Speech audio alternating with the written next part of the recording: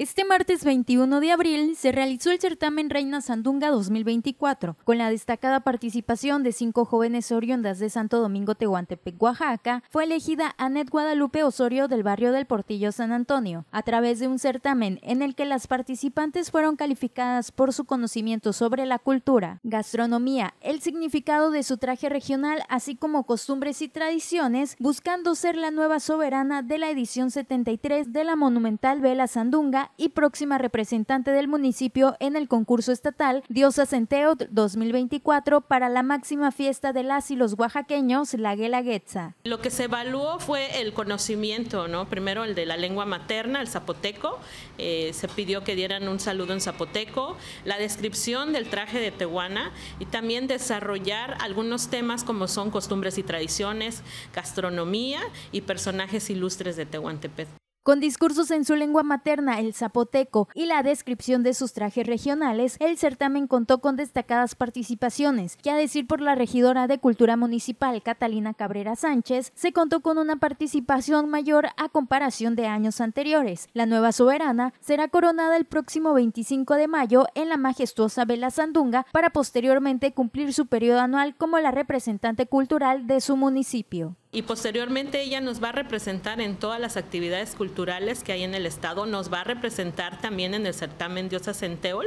Ella va a estar presidiendo todos los eventos culturales a lo largo del año que, que comprenderá su reinado. Para Mega Noticias, Isis Osorio.